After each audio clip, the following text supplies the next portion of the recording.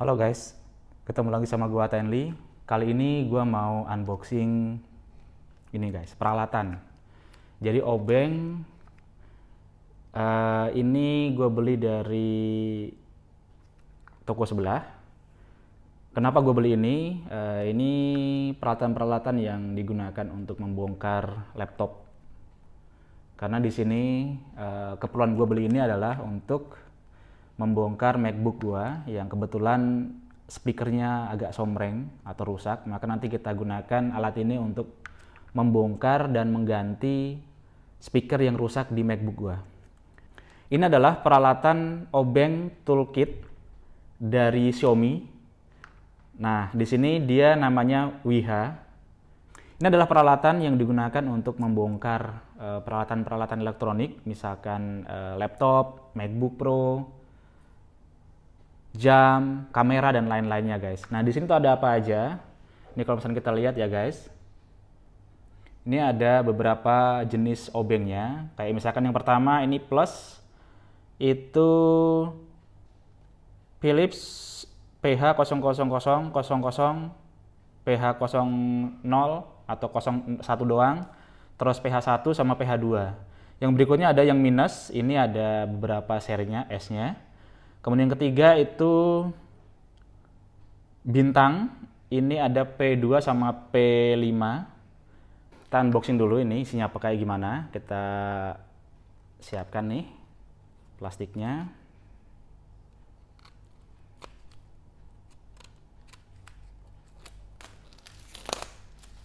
Oke.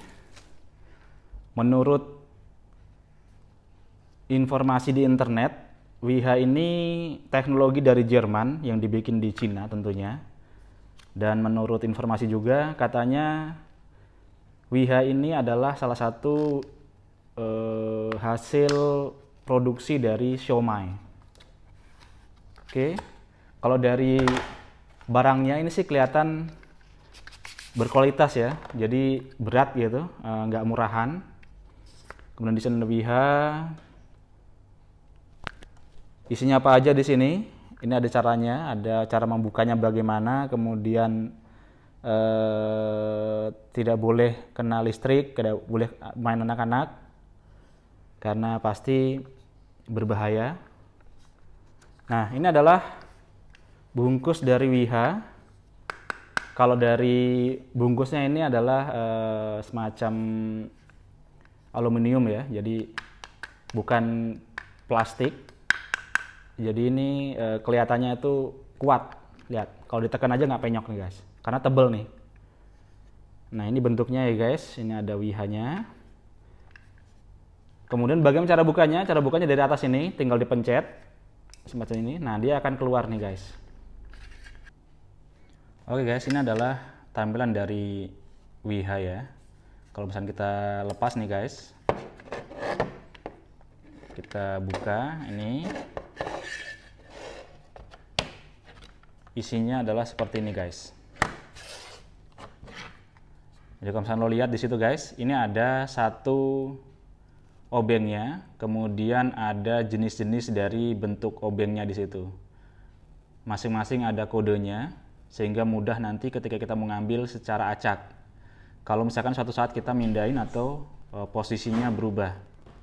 Nah, yang gue suka dari ini adalah barang ini termasuk barang yang premium jadi dari anak obengnya nanti di sini itu tidak cepat rusak ketika digunakan untuk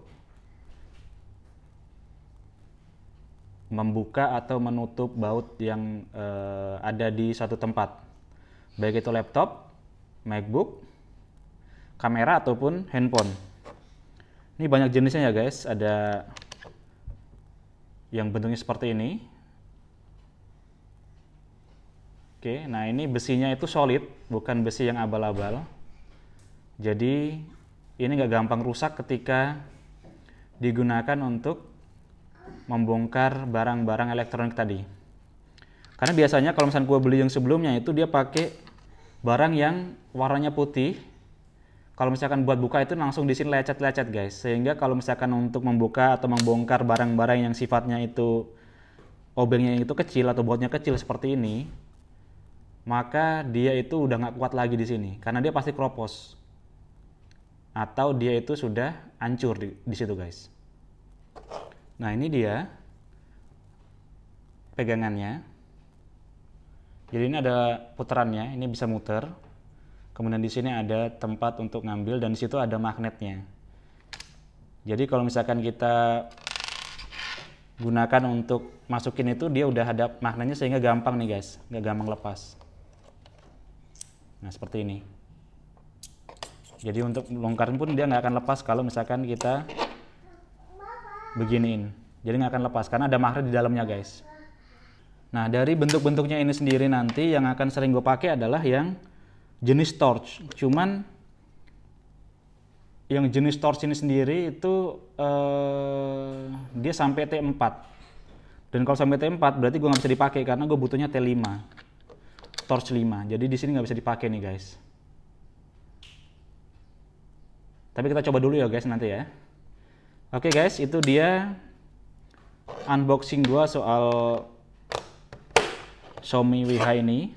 Nah ini tuh harganya 200 ribuan, jadi cukup mahal dibanding dengan yang lainnya guys. Tapi dari kemasan dan produknya ini e, termasuk barang yang cukup bagus karena dia adalah obeng yang premium. Sehingga nggak gampang rusak atau gampang copot atau rusak di bagian ujung dari obengnya guys. Oke, okay.